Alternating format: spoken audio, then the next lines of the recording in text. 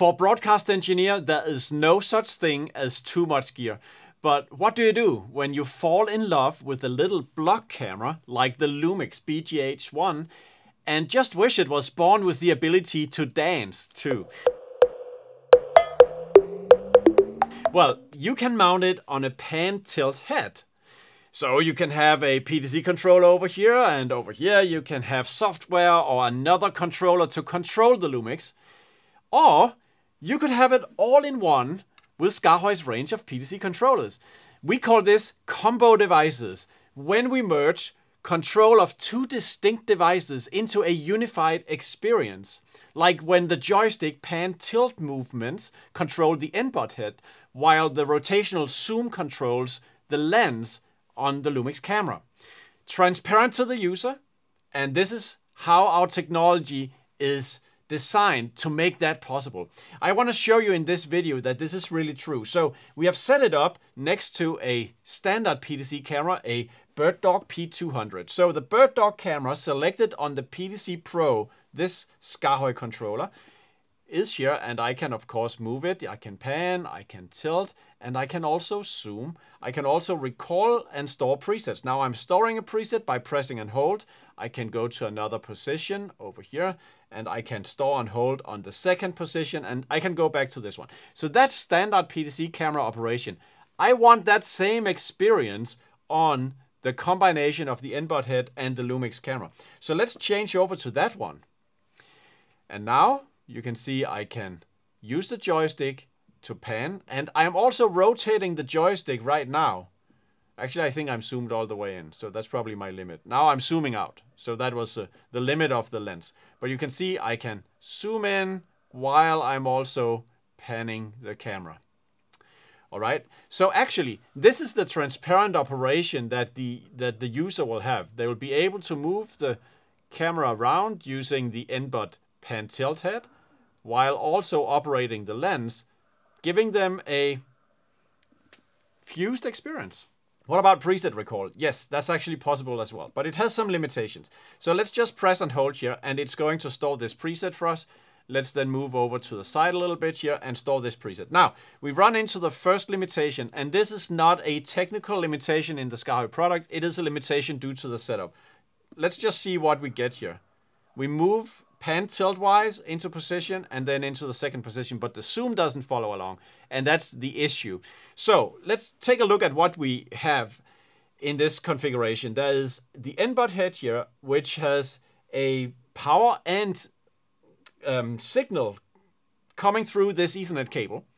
So it is PoE powered and we are controlling the camera as a pan tilt camera, a, a Visca camera essentially. Then it has a LANC output and that goes into the Lumix camera. This is for zoom control.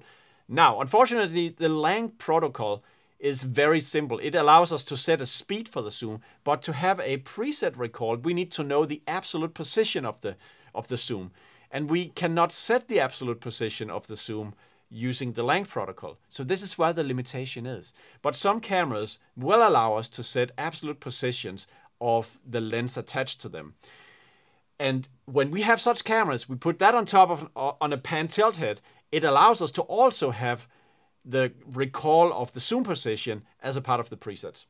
Apart from that, we have SDI coming out of this one, and then of course with the Lumix cameras, they are both powered and also controlled using Ethernet PoE here. So we have all those things here. I want to highlight that one of the cool things about the N-Bot head is the fact that if I had an HDMI out and I wanted to, I could attach it to the HDMI in and it will convert that input signal into NDI. But it's something you can read about on the website from Salray Works and the NBOT head here. So the combination, any PTZ head down here that we can control pan and tilt off, any camera on top where we can control the camera parameters like shade it with all the settings that we find in the menus like we can adjust exposure and we can adjust white balance. There's color settings there uh, focus typically which is also a lens thing and and so on. All those things controlled on this camera up here depending on on how our integration with it is. So this is possible to combine inside of SKAARHOJ's universe. I want to show you a few things that we could optimize here. One of them is, for instance, the labels. So I think Bird Dog P200 on the controller is pretty, you know, clear and straightforward. But the one called Combo something, I would probably write N-Bot Lumix camera like that. And you see that label is instantly changed on this camera selector.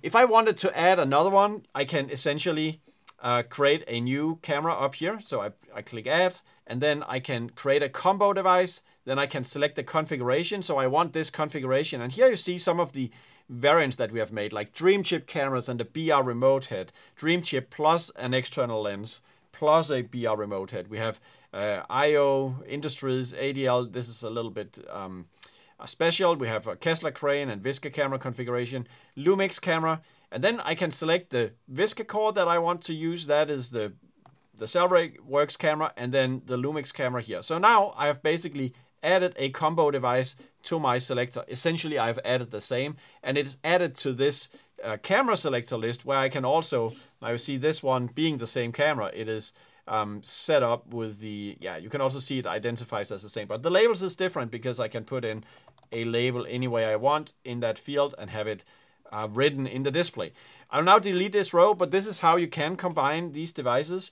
So it is um, definitely possible inside this UI to achieve that with the devices that you have added over here.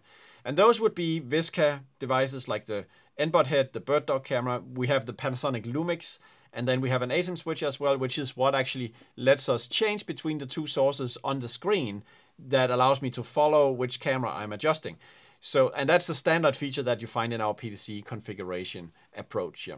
I'm quite excited about combo devices. I think there are so many camera integrations and pan tilt head integrations from SKAARHOJ that can be combined in this way. So I'm really looking forward to telling you more about that in the future. At this point, you have made it this far, almost to the end of the video, and I think that qualify you to subscribe and like our channel. So feel free to do that. We are also found on Facebook, X, and Instagram, and we have a newsletter as well that you can subscribe to if you like. It's always a good way to stay connected uh, with the news that we send out all the time on how we are inventing the future of live production control, one implementation at a time.